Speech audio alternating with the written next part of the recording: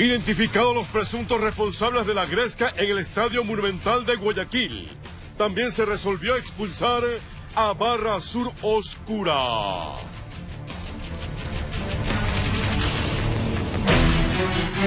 Cámaras captaron dramáticas imágenes de balacera entre presuntos delincuentes y la policía. Al parecer robaron más de 100 mil dólares en una urbanización privada. También analizaremos las propuestas de los candidatos a la presidencia con el doctor Vladimiro Álvarez Grau. Y este lunes conozca el perfil del candidato presidencial por Sociedad Patriótica, Patricio Zuquilanda. En lo internacional, el Ejército de Liberación Nacional liberó a un soldado secuestrado previo a las conversaciones de paz en Quito. Así empieza la noticia, emisión estelar.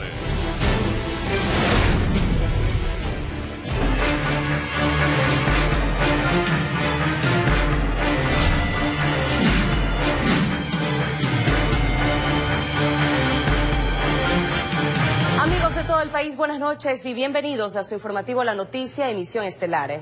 La Intendencia del Guayas informó que ya tienen identificadas a varias personas que habrían propiciado la riña registrada en la barra suroscura durante el partido entre Barcelona y Macará en el Estadio Monumental de Guayaquil.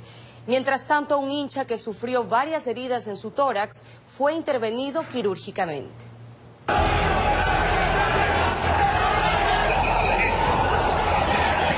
La gresca en la sur oscura que dejó cerca de 40 heridos y dos detenidos por tenencia de sustancias durante el partido Barcelona-Macará, la Intendencia de Policía confirmó que ya tienen a otros. Plenamente identificadas, ya el Estado va a, va a ejercer su potestad punitiva y en ese sentido hemos corrido traslado con todos estos elementos de convicción a la Fiscalía General del Estado. Al hospital Guayaquil trasladaron a siete hinchas que sufrieron heridas, pero este lunes informaron que solo dos permanecen internados por golpes en el cerebro y tórax. El segundo fue operado en la mañana. Ya en estos momentos se encuentra en el post quirúrgico, en estos momentos ventilado. Está estable en los parámetros vitales, pero sí en espera de pasar al área de UCI, en la unidad de cuidados intensivos. La Fiscalía inició una indagación previa de oficio por la presunta comisión del delito de incitación a la discordia entre ciudadanos. Si esto de alguna manera no le ponemos un alto, investigando a los directivos de las barras o a quien sea que haya que investigar, esto va a ser peor. Dirigentes de la Sur Oscura, por su parte, rechazan que los metan a todos en el mismo saco. porque no se dedican a cantar al equipo, a alentarlo, a romper la voz 90 minutos, se dedican a hacer el mal a las otras personas. Ya en la tarde, dirigentes barcelonistas en compañía del ministro del Interior informaron las acciones de prevención y control. Ahora vamos a ser muy firmes de coordinar eh, en el tema de que si alguna institución o empresa quiere hacer una aportación a un- una de estas agrupaciones, obviamente primero saber nuestro punto de vista. No descansaremos hasta dar con la identidad de las personas que mentaron, perpetraron y que son los responsables de estos hechos vandálicos. No quieren más violencia ni infiltrados en escenarios deportivos porque ahuyentan a la familia barcelonista y por extensión deslucen la última gloria del coloso del Salado, informó Jorge Escobar. Cámaras de seguridad captaron dramáticas imágenes de una balacera entre presuntos delincuentes y la policía ocurrida en Machala, capital de la provincia de El Oro. El hecho tuvo lugar cuando los sospechosos salían de una urbanización privada luego de aparentemente sustraerse más de 100 mil dólares de una vivienda. El reloj marca las 2 de la tarde con 9 minutos y se observa que un vehículo intenta abandonar la urbanización. La policía está en el sitio. Un uniformado se acerca hasta el automotor con cautela, pide al conductor que se baje. Este accede, pero al abrir la puerta descarga el arma que tiene en sus manos. Milagrosamente el gendarme logra esquivar los proyectiles.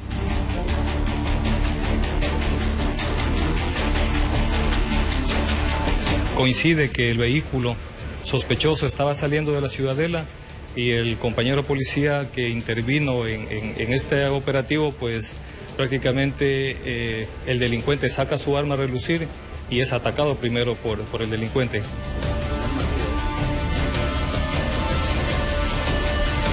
Del lado del pasajero se baja otra persona, igual con arma en mano. Este, en cambio, aparentemente dispara contra el patrullero que está en las afueras de la urbanización. Estiman que en el vehículo viajaban por lo menos cuatro personas. Como tenían el control de la puerta, lograron huir. Eh, logran su cometido y en la persecución eh, no se pudo dar con ellos. Según la denuncia, ingresaron a la casa de una persona que ellos conocían aparentemente a cobrar una deuda pendiente, pero el dueño no estaba en la vivienda, solo permanecía la empleada y supuestamente se llevaron la caja fuerte con dinero y joyas, cuyo monto ascendería a más de 100 mil dólares. Son personas bien vestidas eh, que actúan de esta manera para eh, como si hubieran sido miembros de esta ciudadela, ya que han clonado el control inclusive de esta ciudadela. Gracias a Dios, pues también tuvo suerte compañero, pues se le encasquilla el arma a este delincuente y no pudo cometer eh, su fechoría. De igual manera, pues nuestro compañero se encontraba protegido con su chaleco balístico.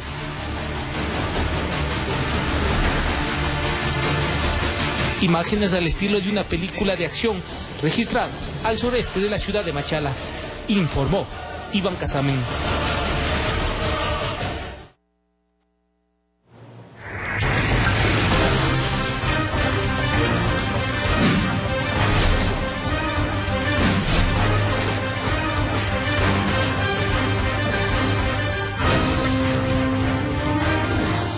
Rumbo a las urnas 2017.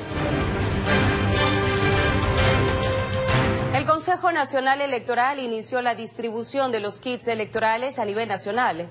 El trabajo culminará el 18 de febrero en Pichincha.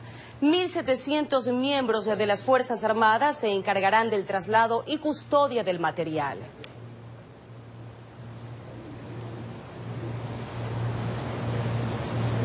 El candidato presidencial por Alianza País, Lenin Moreno, cumplió agenda en Quito.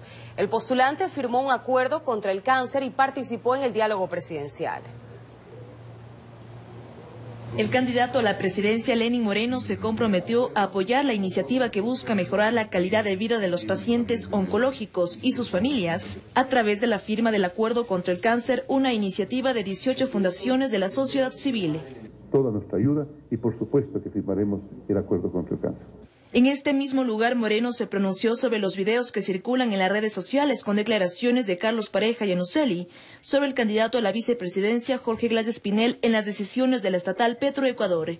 El presidenciable defendió a su compañero de fórmula.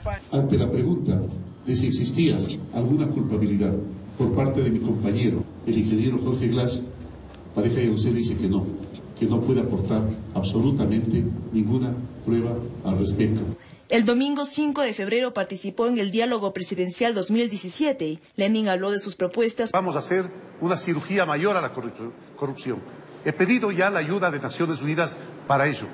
Que los corruptos de ayer y los corruptos de ahora de este gobierno no regresen. Informó Priscila Cadena. El candidato presidencial por la alianza Creo Suma, Guillermo Lazo, visitó Tulcán, capital de la provincia de Carchi. El postulante recorrió las principales calles de esa ciudad donde presentó sus propuestas de campaña. No fue multitudinaria la caravana que acompañó a Guillermo Lazo en la provincia del Carchi. Recorrieron las principales calles de Tulcán. A su paso, la ciudadanía miraba y aplaudía al candidato, quien junto a su esposa y a varios de sus coidearios llegaron hasta donde un aproximado de mil simpatizantes lo esperaban para el mitin en el sector del Parque Ayora. Aquí se dirigió a varios de los sectores sociales de la ciudad. La ley del transporte para que no haya el triple de multa a una sola infracción. Un millón de empleos en cuatro años de gobierno para todo el Ecuador. Las intervenciones fueron cortas. Presentó a varios de los candidatos, tanto nacionales como los de la provincia. Se refirió a la crisis que atraviesa Tulcán, comentando la falta de voluntad política que existe para sacar a Carchi de la depresión económica. No lo han hecho porque no saben cómo. Nosotros sí. Por eso seremos el gobierno del cambio. En medio de la aglomeración de los simpatizantes que querían estrechar la mano del candidato, se retiró prometiendo cambios para la provincia norteña. Lazo permaneció tres horas en Carchi para luego continuar con el recorrido por otras regiones del Ecuador. Necesitamos bajar impuestos para liberalizar el mercado. Desde Tulcán informa Miriam Enríquez. Renegociar la deuda externa es una de las propuestas de Cintia Viteri, candidata a la presidencia de la República por el Partido Social Cristiano. Así lo anunció durante una rueda de prensa en la capital. Cintia Viteri, como parte de su campaña en rueda de prensa en un hotel de la ciudad de Quito, insistió en cambios que aplicará de llegar a la presidencia en relación a la deuda externa. Bajaré el monto que se destina actualmente al servicio de la deuda renegociando la misma. En este momento se dedica más a la deuda que al servicio de la deuda que a educación y salud juntos. Para la presidenciable son necesarios recortes en el sector público. 92 billones de dólares se gastan al año solo en viajes, viáticos, comitivas y cenistas. Eso corto. Además, para ahorrarle recursos al Estado ecuatoriano, Viteri afirma que ella se movilizará en su propio vehículo, al igual que el resto de funcionarios públicos.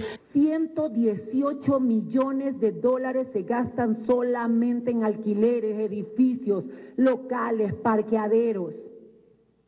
También se corta. Informó Héctor Romero.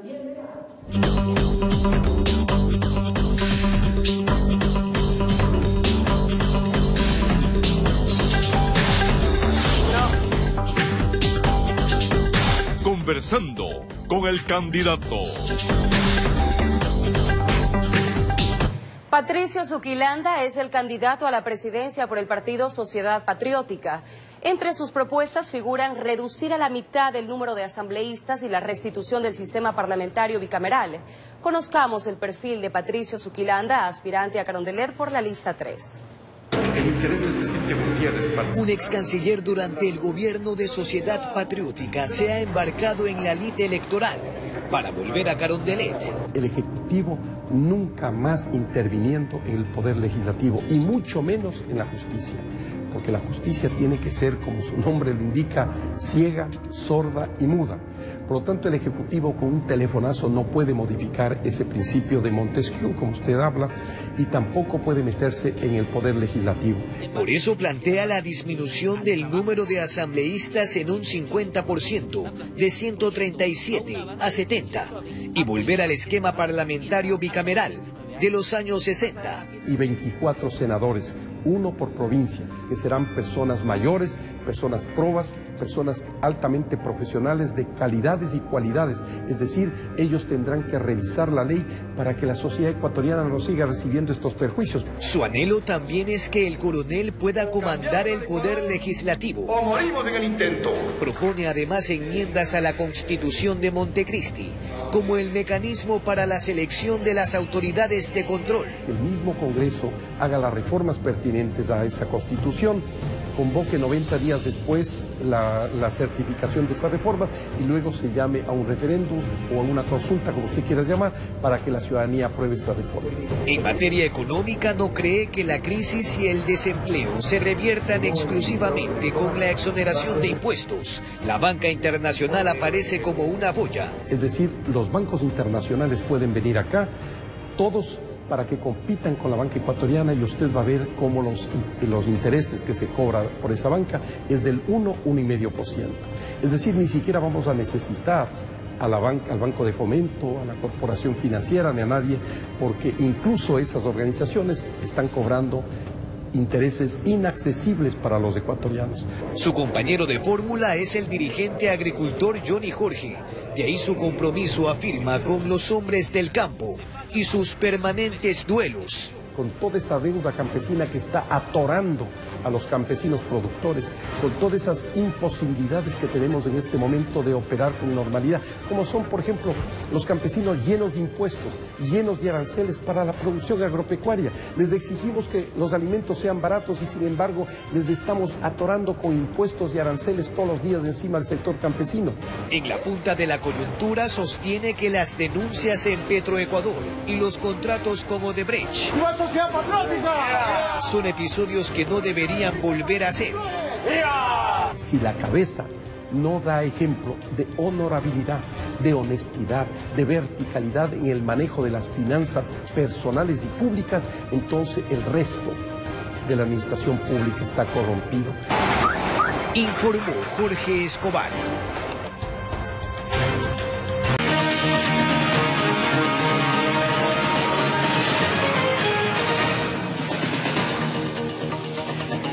Amigos televidentes de todo el país, muy buenas noches. Por primera vez, la noche del domingo, los ocho presidenciables se juntaron para dar a conocer al país sus propuestas y ofertas de campaña. De allí que se hace imperativo el análisis del mismo.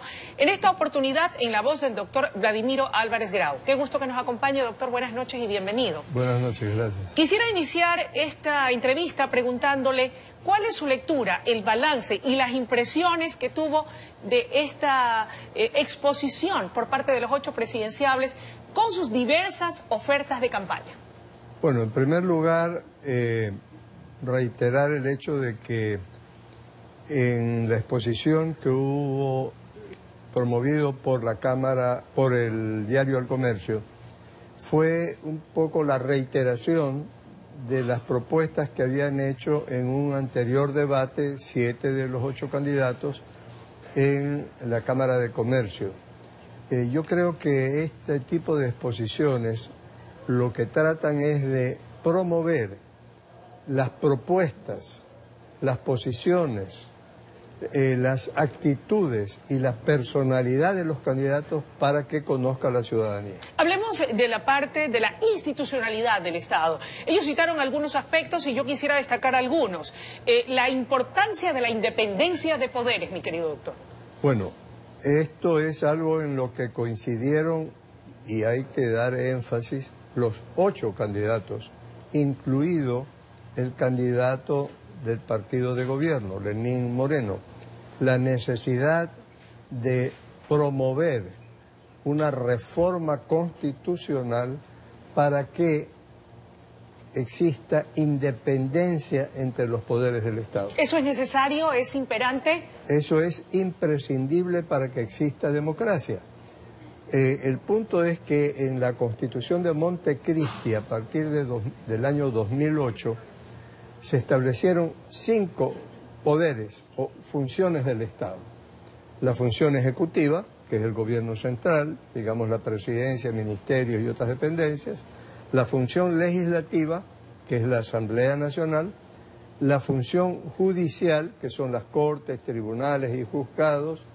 La función electoral, que es el Consejo Nacional Electoral y el Tribunal Contencioso Electoral y el Consejo Nacional de Participación Ciudadana y Control Social. ¿Aquello ha funcionado, doctor? Y esto lamentablemente no ha funcionado porque la propia Constitución estableció un exceso de poder en la función ejecutiva respecto a la independencia de las otras funciones del Estado. Doctor, el presidenciable Washington Pesantes propone para eh, precisamente poder dar una verdadera independencia de poderes y recuperar lo que él denomina la necesidad eh, de una verdadera institucionalidad que fortalezca la democracia, eh, de ir más allá, no solamente una reforma constitucional, como lo planteaban otros en varios temas juaristas, sino convocar a una asamblea constituyente.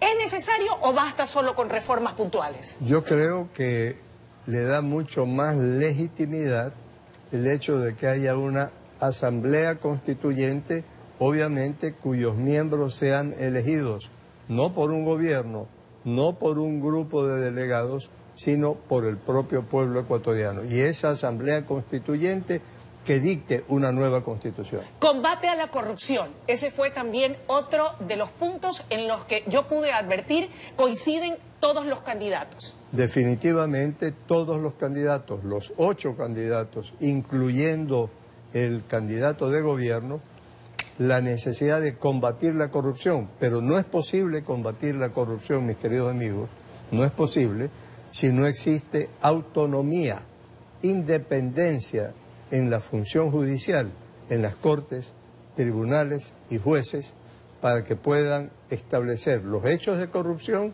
y los responsables de la corrupción. Vamos a los ejemplos puntuales. La doctora Viteri, por ejemplo, dijo que presentará una ley de recuperación de activos. ¿Esto es viable? Es posible. O el doctor Zuquilanda dijo, degollaremos la corrupción con una ley de extinción de dominio. Esto a lo que se refiere fundamentalmente es al hecho de que los bienes mal habidos en el ejercicio de la función pública puedan ser recuperados por el Estado. Alguien fue más radical, el doctor Iván Espinel, y él sostuvo que le va a cortar las manos a los corruptos. Esto con la denominada ley Bisturí, que aplicaría 40 años de cárcel en casos de peculado. La vida de los pueblos democráticos y, e incluso de los países con gobiernos autoritarios ha demostrado, Luisa, que el hecho de aumentar las penas, incluyendo la pena de muerte en casos extremos, no elimina la delincuencia ni la inseguridad. Para eliminar la corrupción, la delincuencia y la inseguridad, se requieren otros mecanismos. El candidato eh, oficialista Lenin Moreno dijo vamos a hacer una cirugía mayor contra la corrupción. Incluso ha manifestado que ya ha pedido asesoría y ayuda a las Naciones Unidas. Sí, es necesario indiscutiblemente, pero para esto se requieren varios segmentos. Uno, la prevención. Dos, la disuasión. Tres, la represión. Cuatro, el juzgamiento independiente y autónomo. Quinto, la reclusión, ya eh, las prisiones. Y sexto, la rehabilitación para los que han sido detenidos y condenados. Doctor eh, Álvarez, esta exposición mediática de los candidatos, exponiendo sus propuestas, sus ofertas de campaña, ¿hasta dónde tienen una repercusión real en el voto, sobre todo de los indecisos, que todavía hay un número importante? Bueno, yo creo que este tipo de diálogos, de debates, de confrontaciones racionales, diríamos, tienen una importancia fundamental en la ciudadanía. Y en esto, gracias a su pregunta, Luisa, quiero insistir en algo. Hay que distinguir entre simplemente ir a votar para cumplir con el requisito de tener el certificado de votación para usar en los trámites e ir a las urnas a elegir. Y para elegir, los ciudadanos requieren el ejercicio de la racionalidad de diferenciar entre un candidato y otro, entre una propuesta y otra. Y para eso son buenos los debates, los diálogos y la información independiente. Muchísimas gracias por su presencia. Ha sido un tiempo muy valioso y sus criterios muy orientadores. Que tenga una buena noche, mi querido doctor. Gracias, igualmente. Amigos televidentes, el análisis con el doctor Vladimiro Álvarez Grau. Saquen ustedes sus propias conclusiones, una pausa y ya regresamos con más de la noticia en su emisión estelar.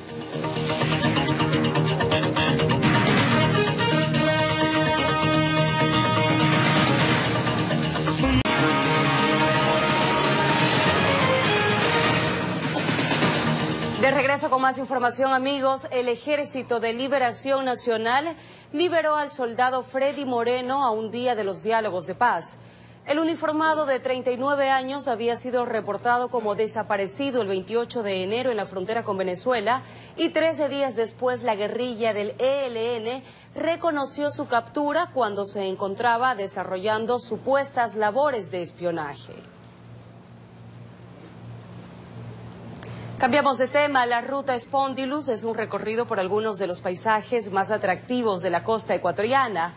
Uno de los sitios más visitados es el Museo de los Amantes de Zumpa en Santa Elena, donde está el asentamiento de la primera cultura del continente americano. Veamos.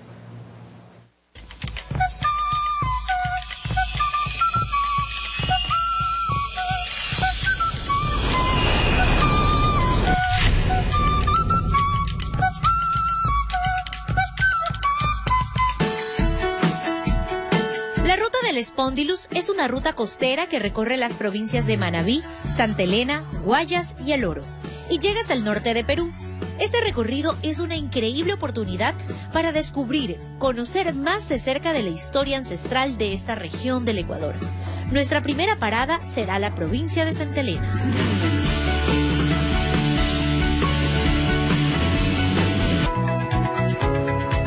El Museo Amantes de Zumpa eh, corresponde a la cultura más antigua que se ubicó aquí en la península de Santa Elena. Cobija a más de 200 osamentas, ¿no? Entonces, dentro de esas 200 osamentas tenemos pues los famosos amantes de Zumpa, que es lo que le dio nombre y fama a nuestro museo.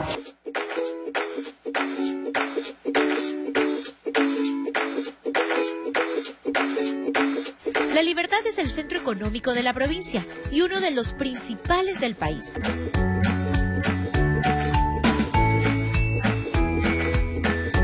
Una tradición que los llevamos desde la época de Las Vegas y hablamos de tradición. En nuestra época pues es ponerle una mesa muy llena con todos los alimentos que nuestros familiares degustaron y llamarlos por su nombre y la creencia de los familiares es que ellos llegan espiritualmente a comer de lo que le tienen listo en la mesa. Esta exposición que vemos ahora es la costumbre que tenía nuestra gente de ponerle el cordón al muerto, que eso significa o lo tienen como la protección, porque nosotros al fallecer tenemos varias etapas para poder llegar al cielo, ¿no? Entonces hay un, un espacio donde estamos como purgando todos nuestros problemas que tenemos en vida. Y la gente para poder salir de eso pues le pone el cordón en la cintura del muerto para defenderse del maligno. Junto al Cantón La Libertad se encuentra Salinas, ciudad con un importante peso cultural, histórico y económico dentro de la provincia de Santa Elena. El nombre de Salinas eh, radica de que anteriormente había unas pampas de Salinas.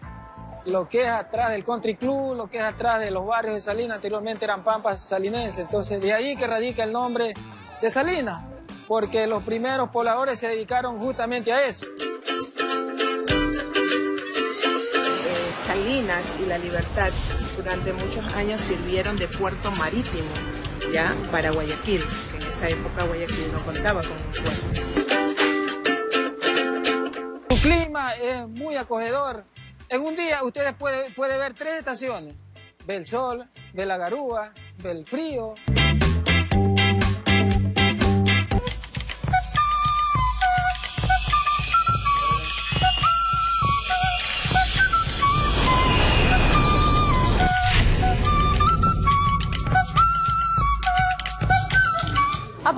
De la capital se encuentra la parroquia rural de Yoa, donde el turista puede disfrutar de un entorno natural. Pero sin lugar a dudas, los mayores atractivos del lugar son sus siete cascadas.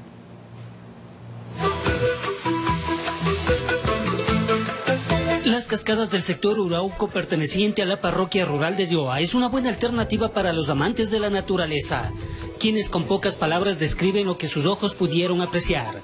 Hermoso, sí. Es lo más lindo que hay aquí en el Ecuador. Recomendable. 100% recomendable para la gente de aquí y para la gente de fuera, que venga y conozca Yoa. El lugar es administrado por la comunidad desde hace 15 años.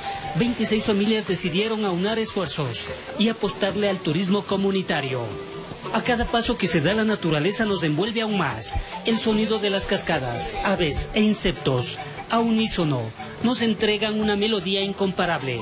Como protección de los turistas se han habilitado gradas, rústicos pasamanos y cuerdas. El complemento es un buen chapuzón en la piscina de agua verde. Hay quien prefiere la de barro, que se garantiza tienen cualidades medicinales.